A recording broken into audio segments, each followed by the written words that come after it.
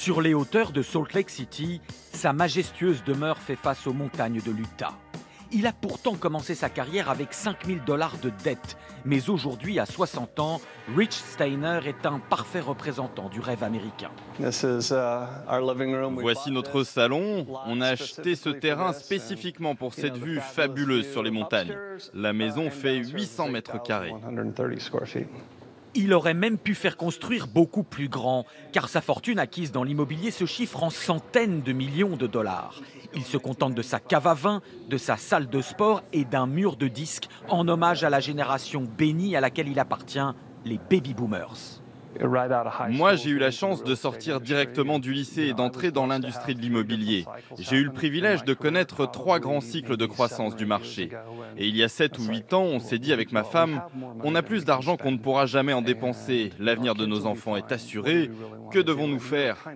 On était un peu perdus.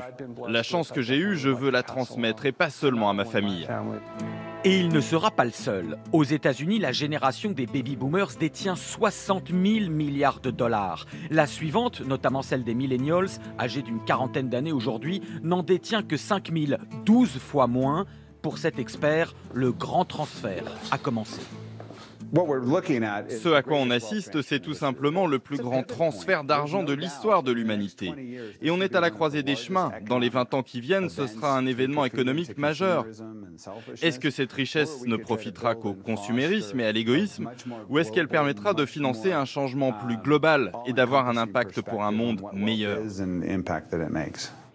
Aux États-Unis comme en Europe, les boomers de la classe moyenne et supérieure transmettront déjà un bel héritage à leurs enfants.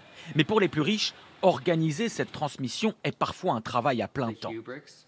Kevin Mitchell gère la fortune de son boomer de beau-père. Il dirige les investissements de la famille et son beau-père a des instructions très précises. Ce qui l'intéresse, c'est l'humain et comment on peut éduquer la prochaine génération. Donc, dans la famille, il y a un portefeuille d'investissement et là, mon boulot est clairement de maximiser les profits. Car cela permet de financer deux choses. Un parc immobilier qui sera l'héritage de la famille, mais aussi tout un fonds caritatif. Relogement de femmes battues, accès à l'eau potable en Afrique, la famille redistribue à des centaines d'associations. Une philosophie inspirée des grands milliardaires américains comme Warren Buffett qui a légué 85% de sa fortune à des fondations.